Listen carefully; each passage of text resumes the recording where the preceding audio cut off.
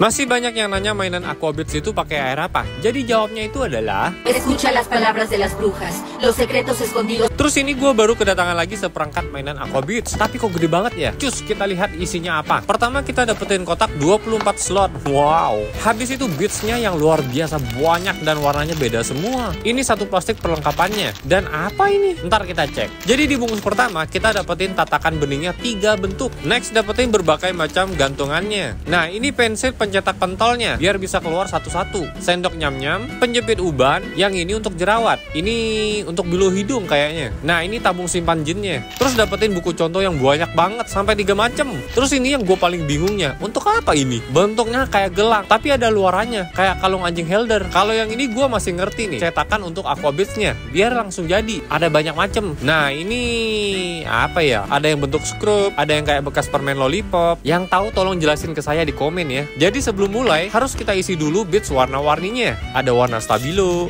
Aduh banyak banget Sampai nggak muat Next biru, pink, orange, biru, abu-abu, telur sushi, hijau, dan seterusnya. Banyak banget dari warna kuning telur sampai pink lipstick ada. Bahkan sisa satu lagi, tapi nggak muat. Kita break dulu ya guys. Lelah juga bukain ini doang.